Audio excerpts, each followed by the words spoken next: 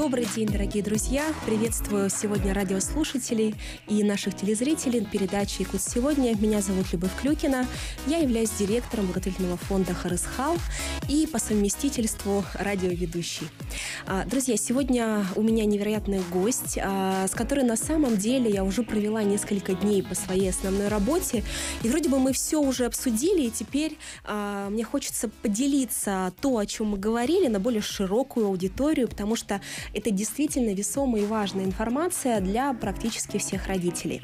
Итак, у нас сегодня Юлия Кремнева, руководитель сообщества семей слепоглухих. Это такое федеральное всероссийское сообщество. Юля, расскажи, Расскажите, а, что это за сообщество, в рамках какой организации? Это, наверное, какое-то федеральное или муниципальное учреждение? Это не коммерческая организация, добрый день. Угу. Это не коммерческая организация, это межрегиональная угу. благотворительная общественная организация, угу. которая появилась благодаря фонду соединения и активным родителям угу. слепоглухих детей. Угу и которая сейчас имеет 38 региональных отделений, которые зарегистрированы, угу. и семьи фактически во всех регионах нашей страны.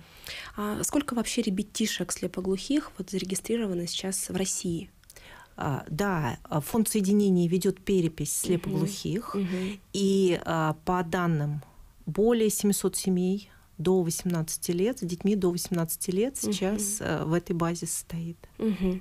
А, и вы работаете только с семьями тотально слепоглухих, или то есть вот есть же какие-то, да, более широкие категории, да, потому что сейчас, э, вероятно, наши зрители, слушатели услышат, поймут, а, это вот не про меня, да, и тогда, э, вот, то есть что это за категории людей, категории населения, категории детей? Да, совершенно верно. Угу. А, на самом деле слепоглухота – это одна из самых тяжелых форм инвалидности. Угу. Это одновременное нарушение слуха и зрения. Угу. Но а, это очень разные люди. И это очень разный вид нарушений. Угу. Это бывают недоношенные дети у которых, а, которые рождаются, и ретинопатия недоношенных приводит к нарушению зрения угу. серьезному, и плюс еще нарушение слуха. Угу. И это могут быть синдромы, как синдром Ушера или там синдром Ашера, угу. когда у человека изначально есть нарушение слуха какое-то, а потом угу. он начинает терять зрение угу. из-за вот этого генетического нарушения. Есть э, множественные нарушения развития, угу. Когда есть там очень сильная миопия, например. То есть могут быть люди слабослышащие и слепые. То есть это не, не, не только люди, которые совсем не видят угу. и совсем не слышат. Угу. Угу. То есть большинство наших э, подопечных все-таки э, какие-то формы коррекции угу. и используют технические средства реабилитации угу. и какой-то коррекции угу. подлежат. То есть могут быть э, слабослышащие, там, слепые, слепые да, да или слабовидящие, э, глухие и так далее. Совершенно так далее, верно. Да? Ну да. и причинно-следственная связь, от чего это произошло, также да, бывает. Да. Есть же, например, а, поздно ослепшие, ослепшие. да, или поздно оглохшие, то есть в связи там с какими-то травмами или с чем-либо, да. То есть получается, что фонд соединения, он работает со всеми этими категориями, да? Независимо от причин. Независимо да, от верно. причин и независимо от возрастов, по сути. Да, да. да, да. Ну а вы именно как бы ваша работа,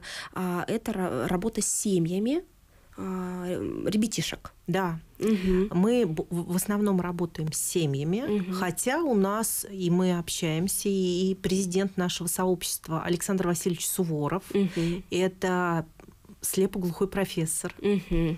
участник Загорского эксперимента, один угу. из четырех угу. выпускников Загорского детского дома для слепоглухих, который закончил университет. И это mm-hmm. была вообще очень известная история, совершенно потрясающая. Но теперь она уже не единична на самом деле, да? Она, а, мы пытаемся mm-hmm. повторять mm-hmm. и сейчас все использовать, mm-hmm. и весь опыт как mm-hmm. раз, который был накоплен Советским Союзом в этом направлении, благодаря фонду соединения, mm-hmm. и этот опыт был, а, этот опыт вспомнили, сделали достоянием, и это очень нам, как родителям, помогает сейчас угу. в обучении наших детей угу. и специалистам тоже, естественно.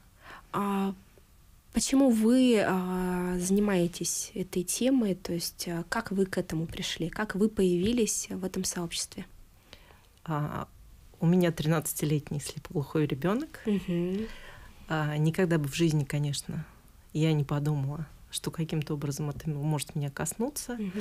Но а, жизнь сложилась так, что а, мой младший ребенок слепоглухой. Угу. И, конечно, я прошла все стадии принятия. И а, в какой-то момент я работала на самом деле на московской бирже. Угу. До этого это была Нижегородская валюта. Да, то есть, Мгм. да, я была главным бухгалтером и заместителем руководителя Угу. Приволжского филиала. То есть у меня была приличная работа, кандидатская диссертация. И, Мгм. в общем, Угу. я была успешной такой достаточно девушкой. Вот. И а, никогда бы, конечно, а, даже не предполагала, но так сложилось. Угу. И а, в какой-то момент я попала вот в социально незащищенную группу населения, но в ней надо продолжать жить, и нашим детям надо давать какой-то пример и э, тоже жить Мгм. дальше, потому Мгм. что, ну, сложно несчастной маме воспитать счастливого ребенка Угу. на самом деле. И э, так я начала читать, я начала э, изучать. И вот 8 лет назад, на наше счастье, я считаю, это один из самых таких подарков в жизни для нас был создан фонд соединения. И мы сначала были подопечными. Мы одну из первых программ Угу. прошли как подопечные вместе с педагогами. Я в тот момент как раз проучилась а, в, в школе Глена Домана Угу. и думала, почему же у нас невозможно делать комплексную диагностику, почему же со всех сторон. Угу. Когда я уже- ребенка не смотрят как целое, Да, а, а а- смотрят а- по см- частям. Да, да, и да. врачи причем, да. Да. И врачи выносят диагноз, Мгм. а как его адаптировать к жизни-то вообще с этим диагнозом потом? Мгм, И на мгм. самом деле это не имеет никакого отношения к его развитию, Мгм. этот диагноз. Мгм. И у меня вот эти все границы, стыки, да, швы, Мгм. они очень прямо были такие болезненные. И а, появилась тоже программа как раз в фонде соединений. Мы были одной из первых семей. Мгм. В Институте коррекционной педагогики команда специалистов начала возрождать как раз вот это вот опыт Мгм. работы со слепоглухими. Мгм. И мы попали в эту программу, и мы как... И вы были- стали частью Мы, да, этого фонда, да? а потом жизнь сложилась так, что в какой-то момент я поняла, что меня все больше и больше захватывает, Мгм. и семьи нам уже как-то мы начали знакомиться с семьями, и в какой-то момент я с- ушла с работы Мгм. предыдущей, Мгм. и фонд предложил мне Мгм. работать в сообществе, Мгм. Работать которое было создано в тот момент уже. Мгм. Мгм. И мы были как бы членами, активными членами сообщества. Мгм. И фонд сказал, о, нам нужны опытные менеджеры. такие мамы, да, Да, э, да, да, да. да, с таким опытом. И вы на тот момент уже за- защитили кандидатскую диссертацию. Да, в и- 2005 году. Да, и стали уже кандидатом социологических, да? Да, я защищалась, Наук. когда у меня дочери старше три месяца. Мгм, мгм. Ам, Потом не пожалели, если честно? Про диссертацию? Нет, нет, когда вот сменили вот эту вот э, деятельность, погрузились в это супер глубоко, а, то есть где-то вы здесь остались? А, на самом деле очень Мгм. взбудоражено было окружение. У меня очень переживали родители, Мгм. очень переживали близкие друзья, потому что у всех, конечно, был вопрос, на что вы будете жить, Мгм. потому что это была хорошо оплачиваемая работа. И а, вы знаете, это удивительно. Я до сих пор иногда а, думаю, что в жизни бывают такие моменты, Мгм. когда вокруг все очень а, тревожно и беспокойно, Мгм. а ты находишься в эпицентре, и ты совершенно уверена, что все идет так, как нужно. Мгм. Мгм. И поэтому, конечно, окружение будоражило, Мгм. и я, наверное, сомневалась. Ну, Но как, при в этом- принципе, это свойственно любому Ну, человеку. потому что да. мы можем, конечно, Да. сколько угодно говорить об идеалах, Да, о да, да, да. смыслах, Да, но да, вообще дома есть дети, которых надо кормить. Мгм. Вот. И а, как-то вот так Мгм. сложилось. И я, э, честно, я ни разу не пожалела о, о том, что даже скорее Я думаю, что в этом, наверное, есть какой-то там смысл, и не зависящий от меня. Угу. Ну, обычно, да, рождение ребенка с особенностями, тем более, когда они, например, множественные, да, тяжелые, это воспринимается близкими окружением как страшная трагедия да, и вот нужно ее как-то вот принять. А вы говорили про стадии принятия. А, я думаю, что немногие а, наши зрители знают про эти стадии. То есть, когда они встречают семью с таким ребенком, mm-hmm. да, или, например, у них у самих есть такой ребенок, то есть они так вот, да, видят отдельно, да, человека, то, что, может быть, что-то как-то мама не так выглядит, и что-то с ней, может быть, как-то чисто она не так себя ведет эмоционально, как может быть принято в обществе, да. То есть, какие все-таки стадии есть у родителей, то есть и, и через какие стадии проходят родители, когда вот попадают в такую жизненную ситуацию? Ну, это известная же есть угу. а, такая вот классификация. Угу. И на самом деле там по одним классификациям 4 стадии, 5 стадий. Угу. Но основные, первые, конечно, это отрицание. Угу. Что когда это, не это невозможно, угу. ну, конечно, сейчас угу. его вылечат. Угу. И я в этом была уверена. Угу потому что нас выписывали из отделения новорожденных со словами «Э, «все хорошо». Угу. Мы лежали в областной больнице угу. с ним вместе, и он был на аппарате искусственной вентиляции легких, но нас выписали со словами, что все опасность миновала, угу. сейчас все будет хорошо. Угу. Вот. И, конечно, и через месяц вдруг выяснилось, что угу. началось не очень хорошо, да? Угу. Как раз с глазами выяснилось угу. сначала. Про слух угу. была долгая история. Угу. Вот. И, а, конечно, сначала мы поехали в Питер что нас сейчас вылечат, и это вообще не про И все закончится. Конечно, угу. и у меня будет все как угу как нужно, угу. и жизнь моя будет прежней, да, только еще я реализуюсь как да. успешная мама. Как успешная мама. Да, да, да, да. да. Ага, ага. Вот. А следующая. Следующая стадия это гнев. Угу. Кто виноват в этом? Кто виноват? Угу. И за что мне это? Угу. И почему? Почему угу. я, что я такого? У меня, могу сказать, не знаю, у меня эта фаза какая-то очень прям была микроскопическая. Угу. Я не очень в ней зависала, честно mm-hmm. скажу. И скорее, может быть, она проявлялась наружу, может быть, как-то к, людям, в каком-то недовольстве, что моя жизнь нарушена, я не могу быть свободной, как раньше. Угу. Мы сейчас уходим на перерыв, и про третью стадию, да, самую важную, видимо, а, поговорим уже а, после него. Угу. Уходим на перерыв.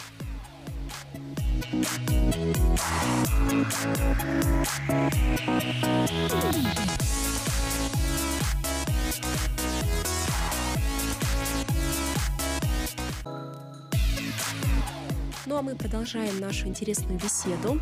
А, напоминаю, что мы работаем в прямом эфире. А, номера прямого эфира 32 0066 32 11 66.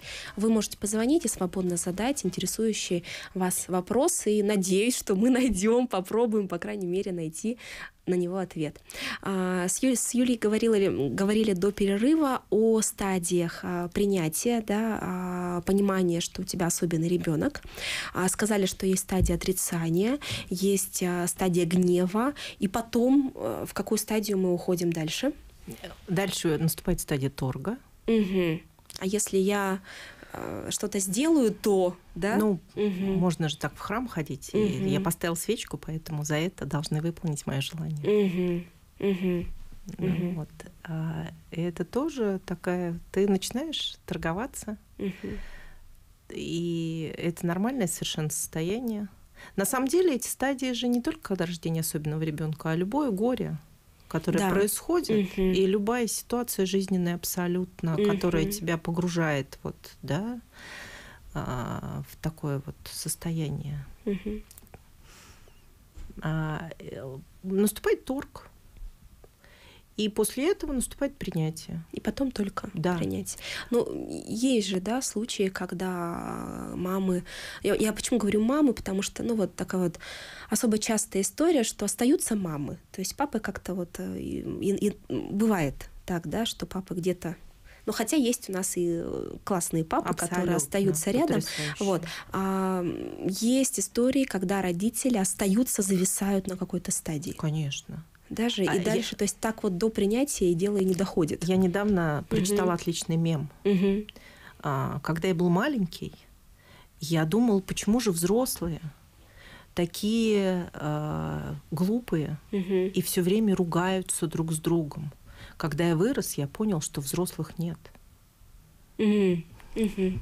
И все зависли в состоянии да. ребенка и продолжают мы что-то. Все, да, угу, угу. мы все в разных э, находимся, да, состояниях угу. и в разных степенях зрелости, угу. взрослости. Угу. И это у нас у всех есть, наверное, какие-то шансы, угу. у нас у всех есть какие-то возможности мы все какой-то имеем как какие-то там технические параметры, да, но вот угу. у каждого складывается по-своему. Ну и получается, что вот такие вот мамы, особенно если они находятся в стадии острого отрицания, да, а, приходят в учреждения, в организации, где они вот в таком ну, сложном психологическом состоянии находятся, да, не получают иной раз ответа. Именно для таких мам, по сути, и нужны сообщества да? Конечно. Где равные с ними а, или, или, или практически равные по проблемам мамы а, могут успокоить, сказать, у меня тоже так было, да, угу. вот, а я вот с этим вот так справилась, да. А чем еще, кроме вот такого дружеского похлапывания или, скорее всего, таких добрых объятий долгих, да, э, чем еще может помочь именно ваше сообщество? А, но мы же еще это коллективный разум угу. некий. Угу не побоюсь этого слова. И а, на всех, конечно, по-разному, у всех разные потребности, и действительно кто-то слышит, кто-то не слышит, у кого-то есть. И я бы хотела просто, прежде чем перейти к тому, что для чего еще нужно сообщество, да, а, очень важно научиться, что мы для себя поняли. Очень важно научиться отделять свои потребности от потребностей ребенка. И это твое отрицание потребности ребенка угу. не меняются. И когда мама в своем отрицании, со своим дефицитом и со своей проблемой фактически решает свою проблему, угу. она не очень помогает этим ребенку. К сожалению, часто так происходит. Угу. Поэтому очень важно, и мы много об этом говорим, угу. разделять все-таки угу. Э, себя свои потребности, свои боли, переживания от потребностей ребенка. Потребности ребенка. Да. Угу. Вот, поэтому э, мы исследуем как раз этой логики угу. в своей работе, угу. и мы разделяем с одной стороны потребности родителей э, в поддержке, в, в информации, угу. в знаниях, угу. э, знаниях совершенно разных, как помочь ребенку, угу. как дома с ним заниматься как создать социальный проект. Угу. Угу. Такое, как угу. пойти и взаимодействовать с органами государственной власти, чтобы у нас появилась новая социальная услуга, которая нам так нужна. Угу. Угу. Поэтому и второе потребности наших детей в развитии, обучении. Угу. И, соответственно, у нас, а, исходя из этого, образуются программы разные сообщества. С одной стороны, есть программы для мам, угу. это школы лидеров, это поддержка юриста, угу. это помощь психолога, это наше какое-то сообщество, в котором мы получаем ответы на вопросы, просто общение, и мамы э, иногда собираются просто в группы по какому-то поводу снять ролик угу. или вместе поучить английский язык. Угу. Вот это же очень интересно, и они находят в этом тоже поддержку. Мы смеемся между собой, что да, у нас психотерапевтические группы с элементами проектного управления да, или да. с элементами английского да, языка, да, да, да. но тем не менее. Угу. А, это так. А для, для ребятишек? Да, для детей. Угу. А второе, второе направление – это мы уже как НКО угу. создаем технологии, угу. которые помогут жить развиваться в этом угу. мире нашим детям. Угу. И вот здесь уже мы взаимодействуем со специалистами, с государством. Угу. И э, ведем себя больше как, наверное, некоммерческая организация, которая, с одной стороны, несет ответственность за качество угу. и является неким э, таким центром и гарантом на самом деле уровня угу. и гарантом качества э, оказываемой помощи. Поэтому, конечно, нам надо э, понимать, с какими специалистами мы работаем, и мы очень трепетно к этому относимся. Угу. Как должна быть организована маршрутизация. Угу. И когда к нам родители обращаются за адресной помощью, мы а, обязательно Э, анализируем угу. и участвуем, насколько это обосновано. Понятно. Ну и чтобы эта помощь была индивидуальной. То есть да. какой-то да, такой готовый пакет, который мы вручили, вот, раз, два, три, четыре, пожалуйста, идите, да, а что-то такое конкретное. Но на самом деле те специалисты, с которыми, которые сотрудничают а, с вашим сообществом, да, это лучшие да, специалисты в России, и а, вы к нам их привезли в Якутск, за что мы на самом деле невероятно благодарны. А, и они вот буквально в эти дни да, работают а, с нашими ребятишками, с нашими семьями. А, в рамках чего кто, кто проспонсировал, да, и кто именно к нам приехал, расскажите. А, да, у нас есть программа, угу. называется «Мамина школа». Это программа, которая э, связана как раз с развитием и обучением наших детей – и с поддержкой семей в этом. А, в этом году это реализуется в рамках проекта «Новая реальность, новые возможности» при поддержке Фонда президентских грантов. А, пять регионов, которые входят в проект. И счастливчики. Да, и вы одни из счастливчиков. Да. А, как раз а, в этом проекте. И началось все очень банально с моей личной потребности угу. ребенку нужно было устраивать в школу. Угу. В школу устраиваться он не мог. Угу. По ряду причин, потому что э, не просто. И не было школ, готовых работать с ним. И у нас был один всего вариант. Это э, Сергиев-Посадский детский дом для слепоглухих. Мы там были. Но в тот момент я поняла, что я не готова, с одной стороны, ребенка оставить в интернате, в интернате. И второе, а, если у меня есть возможности, угу. есть какое-то понимание, угу. зачем мы будем занимать место, если вдруг ребенок остался без родителей, без какой-то дополнительной ну, да. поддержки, да, да, без да, возможности. Ему это место гораздо нужнее. И да. поэтому ну, решили попробовать. Сделать учебное пространство для да. Петра и для других детей уже так получилось, да? Да. Самостоятельно. Мы собрали лагерь угу. для начала, угу. для того, чтобы привлечь внимание к теме угу. и вообще какое-то исследование, разобраться, потому что, может быть, это только наша проблема. Угу. Как раз а, фонд уже был создан. Угу. И сообщество уже существовало, но я в нем еще не работала тогда. Mm-hmm. и все так как-то сложилось очень удивительно, mm-hmm. как часто это бывает. А, и мы провели этот лагерь, в котором было 10 семей, и были педагоги, и мы начали изучать и смотреть, и беседовать с мамами, и знакомиться ближе. Угу. И а, узнавать у педагогов вообще, сколько таких детей, как устроен процесс организации обучения. И поняли, что там работы, работы много, копать да? не перекопать. Да, ага, да, ага. да, да, да, угу. да, да. Вот, и это был первый такой частный случай. А потом, когда уже я пришла на работу в сообщество, это превратилось в постоянную программу. На сегодняшний момент мы больше, чем в 15 регионах были со школами. Угу. И в позапрошлом году у нас э, появилось, кроме вот таких очных выездов и лагерей, еще и онлайн. Еще и онлайн. Угу. История. Угу. То есть это получается, если простым языком, то суперспециалисты, да, с очень хорошей квалификацией, которые востребованы, да, а, есть возможность, чтобы они посетили регион, там продиагностировали детей, дали рекомендации, потом еще и как-то их вели, сопровождали дальше. То есть не просто приехали, посмотрели, ну да, да, да, у вас тут вот один, два, три, четыре, да, вот, а что-то еще проговорили, да, что делать дальше, как дальше быть. Да. да. И угу. это совершенно тоже была из моего личного опыта история, угу. когда ты приезжаешь, э, сначала же нормальный порыв найти лучших специалистов. Да. И ты находишь, и ты приезжаешь за какие-то сумасшедшие деньги на консультацию. Куда-нибудь либо, в Израиль да, или в Корею разовую, нас любят. Да, либо разовую э, какую-то реабилитацию угу. в надежде, что, наверное, ну, либо просто едешь, да, с, с какими-то, наверное, целями, угу. а потом ты возвращаешься домой и продолжаешь жить. Угу. А состояние ребенка при этом не сильно меняется. Угу. То есть его не вылечивают Поэтому постепенно приходит понимание, что это образ жизни. Угу. И вот наша-то задача отсюда появилась мысль, что мы не просто должны приехать, чтобы ждали следующего нашего приезда специалиста, а чтобы после нас начали прорастать наша задача раскидать зерна и подготовить зерна. почву. Понятно.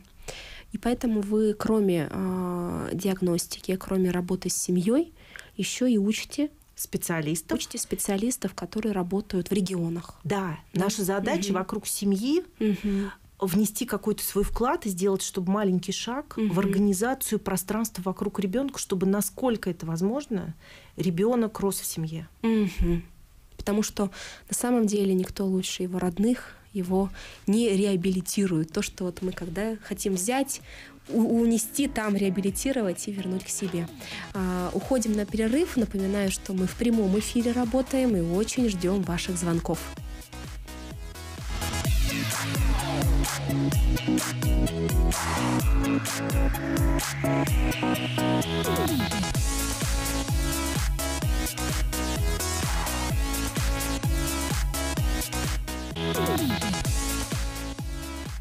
Ну а мы говорим а, на тему проведения реабилитации и диагностики ре, ре, реабилитации ребятишек с тяжелыми множественными нарушениями развития. Это МНР, так называемые.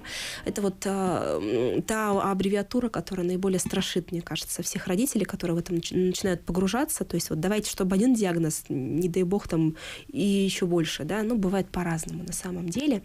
А, много раз мы говорили, что специалисты занимаются. Что же делают специалисты? Специалисты? Кто вот сейчас у нас находится в Якутске? Что это за специалисты? И как они все-таки учат э, родителей? Что делают? А, мы приехали а, с командой, угу. в которой шесть человек.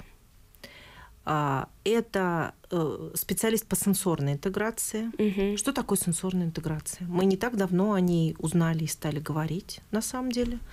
То есть наш удивительный мозг, угу. с одной стороны, подает команды, угу. нашим разным частям тела, да, а с другой стороны получает сигналы от внешнего. от внешней среды. Угу.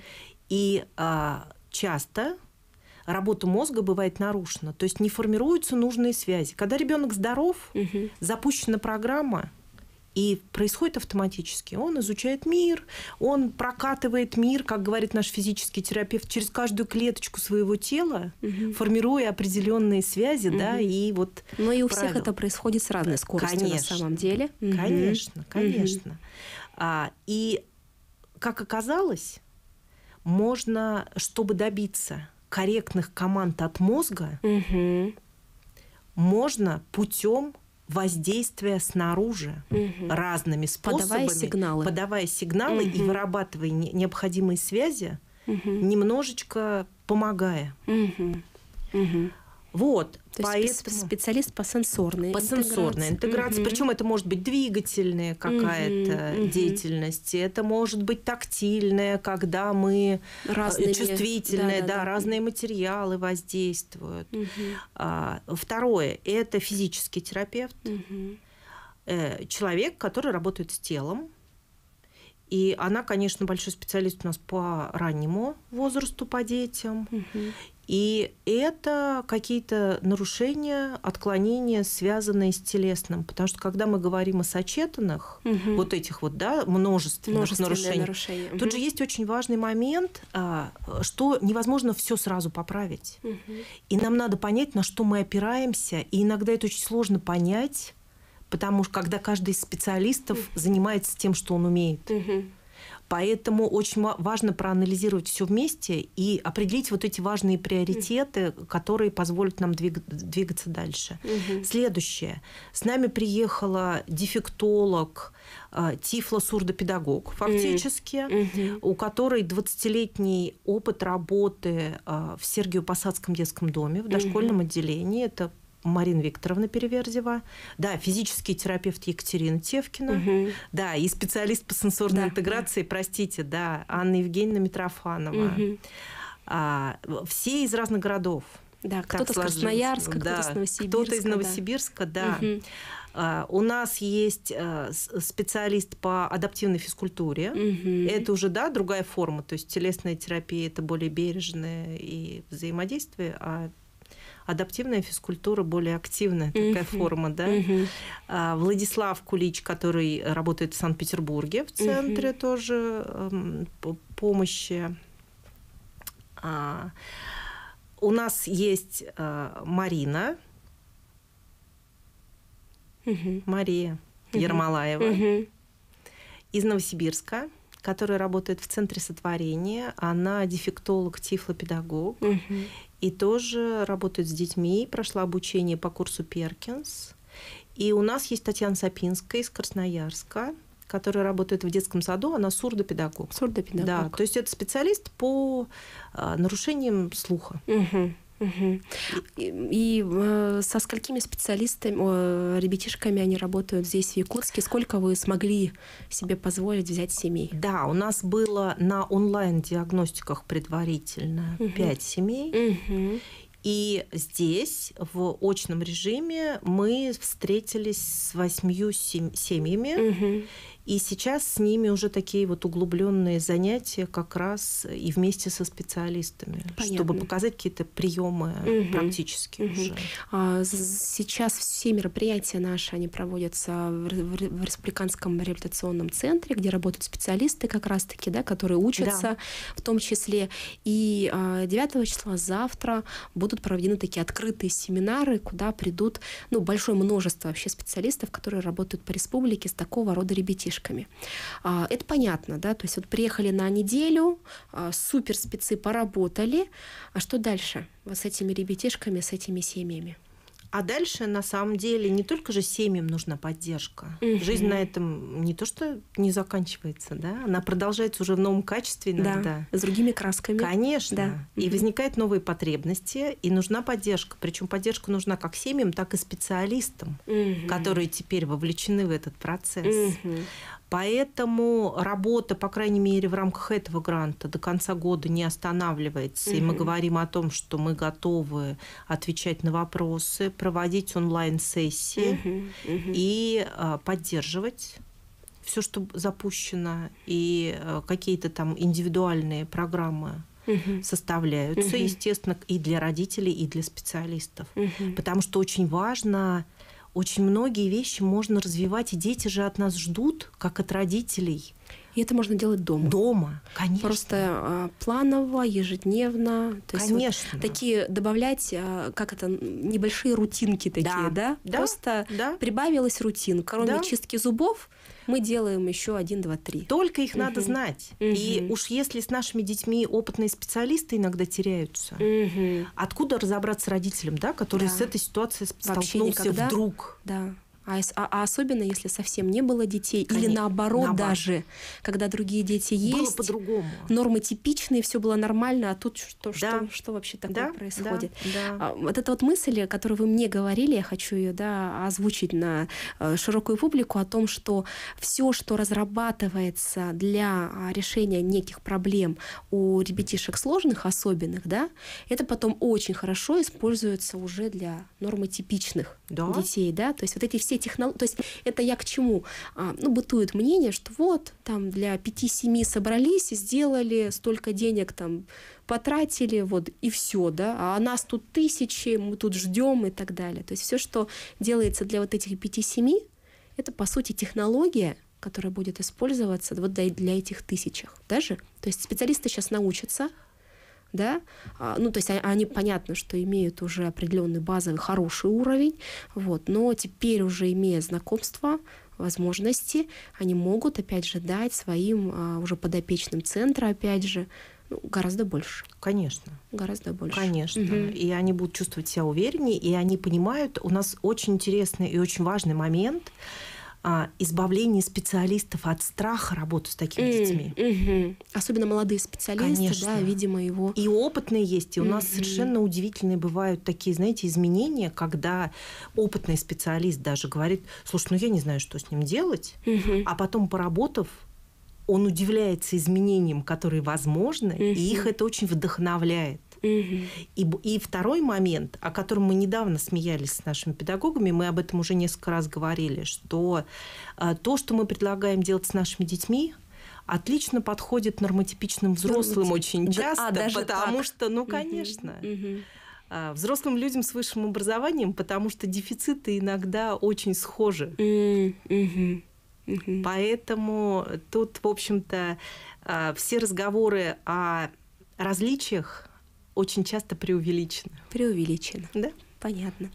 А, все же тема, которую мы обсуждаем, возможно, она сложная да, для многих и сложна в понимании, но я бы хотела, чтобы вы обратились э, к родителям, к мамам, вот сейчас, которые нас смотрят, слушают. Я так думаю, что ссылка этого эфира, она будет отправляться по WhatsApp-группам, да, э, чтобы вы им сказали, пройдя уже сложный путь, да, определенный, находясь еще на этом пути, вот какой-то, может быть, есть у вас обращение, ну, мысли. Я на этом пути буду находиться, пока жива. Да. И это просто другая жизнь. И э, хотелось бы сказать, что если бы, наверное, в какой-то момент в моей жизни мне показали ситуацию эту, я не знала бы, как я угу. на это отреагировала. Угу. Но в какой-то момент с удивлением понимаешь, что то, что тебе казалось невозможной бедой, угу оборачивается какими-то возможностями. Возможностями. Причем не только для тебя, угу. а еще и для кого-то. Угу. И вот это как раз это чудо. Угу. И мне бы очень хотелось э, как пожелать и обратиться очень нам очень сложно в нашей беде и э, вот этих обрушенных ожиданиях увидеть в наших детях людей – Отдельных. Конечно. Отдельно конечно, взятых людей. Конечно. Да. И увидеть вот эту человеческую суть, которая по каким-то причинам оказалась вот в такой физической форме. Угу. И они требуют нашей поддержки, и это повод, отличный повод повзрослеть. Mm. И а, совершенно не надо бояться увидеть реальность, потому что чем раньше мы а, попытаемся понять истинное состояние вещей, тем больше мы можем помочь нашему ребенку. И это удивительная вообще совершенно ситуация, когда ты выходишь из мира своих иллюзий и обращаешься к другому человеку. Мы все очень зациклены на себе на самом деле. Мы очень много о чем говорим, о гуманном отношении и много о чем. Да, и так да, далее. Да, да. да. Угу. Но мы все очень зациклены на себе. Угу. Спасибо большое, Юлия. Мне кажется, это был очень психотерапевтичный такой эфир. А, и мне кажется, вот эти последние слова, они были обращены даже не только к родителям особенных ребятишек, а в принципе к родителям. Очень важно увидеть в ребенке в первую очередь отдельного человека. И посмотреть по сторонам, вообще увидеть других людей. Точно, точно. Спасибо за эфир. Всем до свидания.